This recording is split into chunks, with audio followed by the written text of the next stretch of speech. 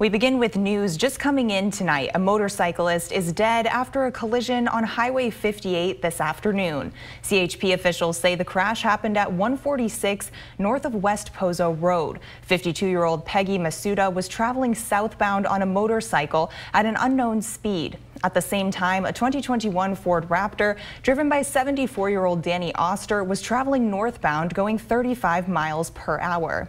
CHP says Masuda drifted over the double yellow lines directly into the path of Oster. Following the crash, Masuda was taken to a local hospital and pronounced dead.